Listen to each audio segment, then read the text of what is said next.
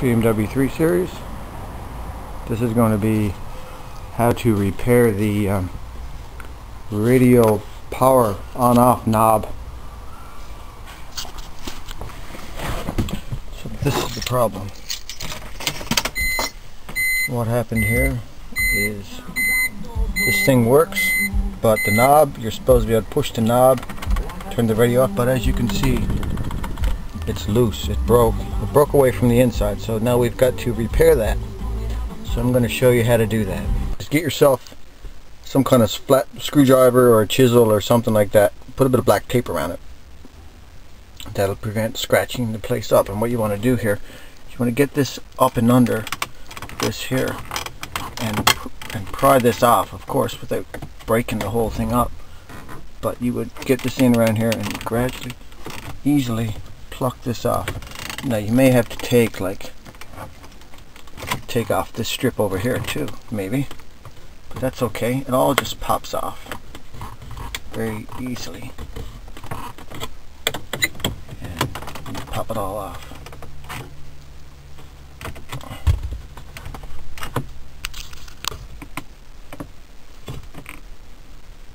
A little bit of gentle prying. As you can see here, this piece just pries off very gently.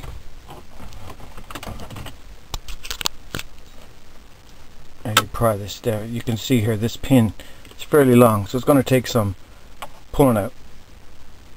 So next thing what you want to do here is we turn off your car. So you need to take a Phillips screwdriver. You got one screw there that we undo. And we've got another screw here that we undo. And once that is undone, this thing should just fall right out. Take this from each side here and just wiggle the thing. The thing will come out like that. So now we pull. So what we're going to do now is we're just going to follow the instructions there. It says take your screwdriver and pry off and that's what we're going to do.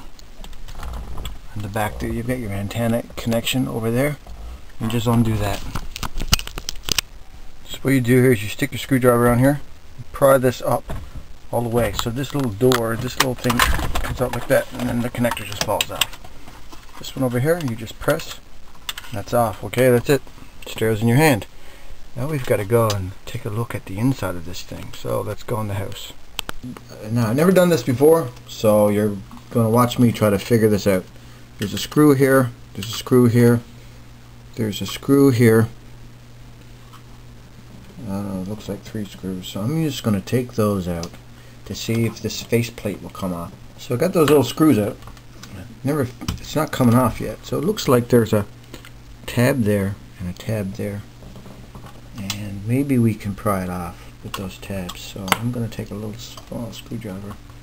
See if I can leverage off. Oh, here we go. Something happened. So this looks like it can now wiggle. What about this side? Is there anything on this side that can go back on? Okay, so I just found in this hole right here there's a little thing you can knock out.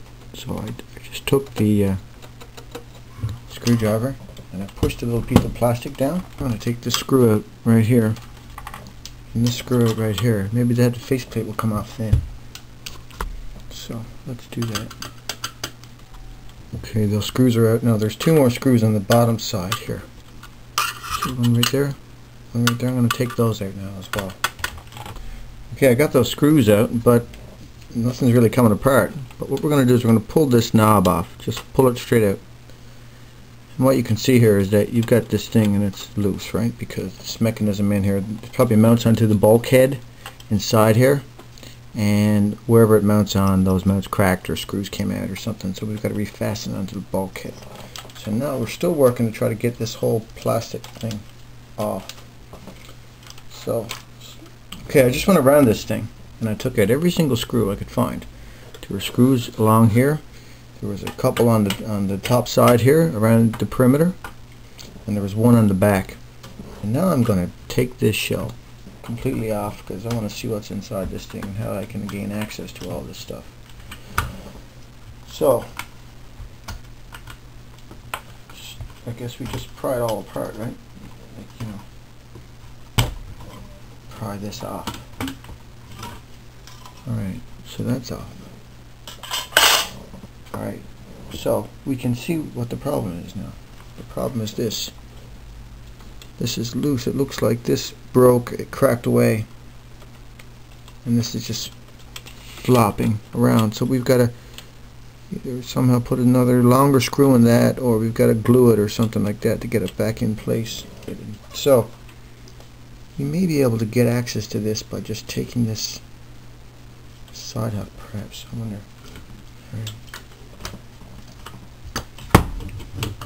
Take this up and off. There we go.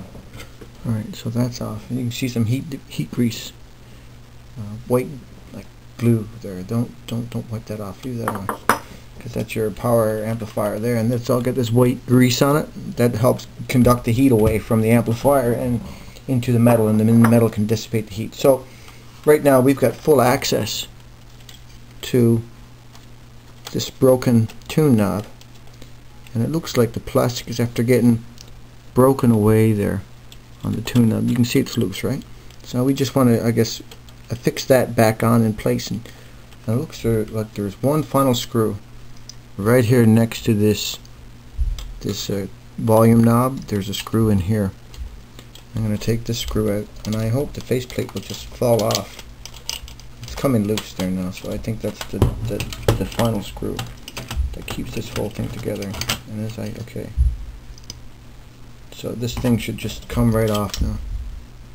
Now be careful because you don't want any ribbon cables to be tugged or pulled or whatever. If you're going to completely undo it, you're going to have to uh, you're going to have to uh, undo the ribbon cables. Okay. We can probably feed this back in through like this. I'm going to undo that connector now. I'm going to put the screwdriver around there and we're going to pry the volume knob connector off by on, on the on the front faceplate board. Just get it off that way. Gradually work it out.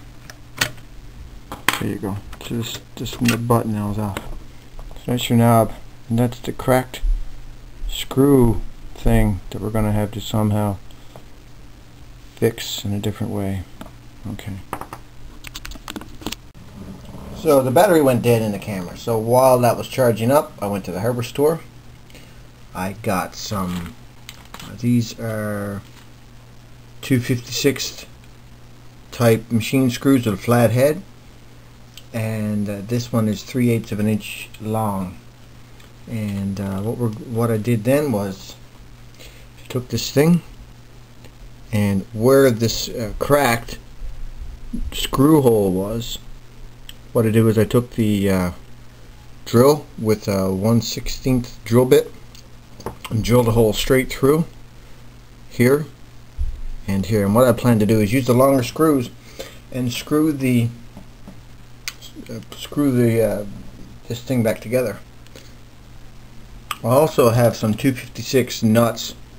What we're doing here is we're going, this screw is a little too long for one side, so what we're going to do is we're going to put a nut on and we're going to screw the nut all the way up to the head. So this will effectively make the screw, or the bolt, whatever you want to call it, slightly shorter.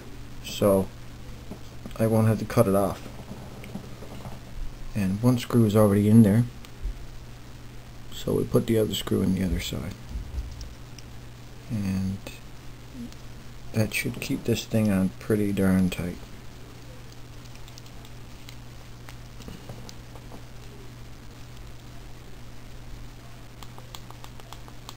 And I think that's pretty good. Alright, so that's how we fix that. Two 256 machine screws screws that are 3 8 inch long. And you can see on one side we put a nut so would effectively make the the screw a bit shorter. We drilled one six one sixteenth inch drill bit holes through each side that originally had the plastic all cracked. And we drew it all, drilled it all in like that. So now we're going to put it all back together.